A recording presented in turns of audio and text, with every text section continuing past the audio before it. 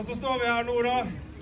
Jeg håper ikke det er altfor mye kaos oppe i bygda, men eh, det får bare stå seg.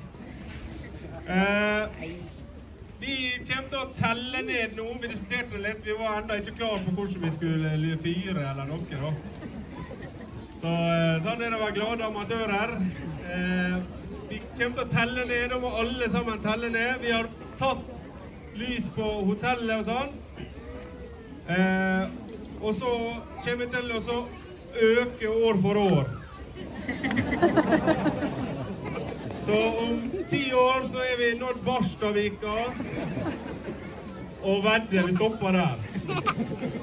Eh, så da teller jeg rett og slett ned fra ti. Men aller først så vil jeg introdusere Solvåg skolekorps i samarbeid med Langåg skolekorps. Gi dem en stor applaus.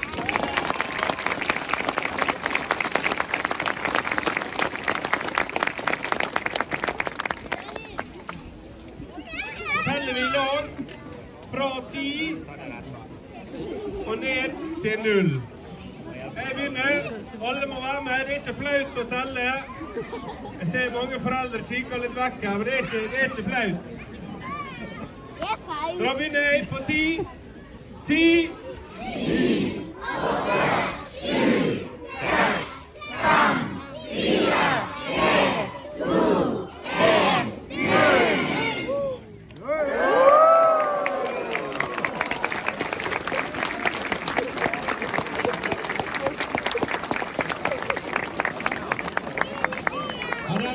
fem kilo lettere. Da spiller korpset to sanger til. Eh, vi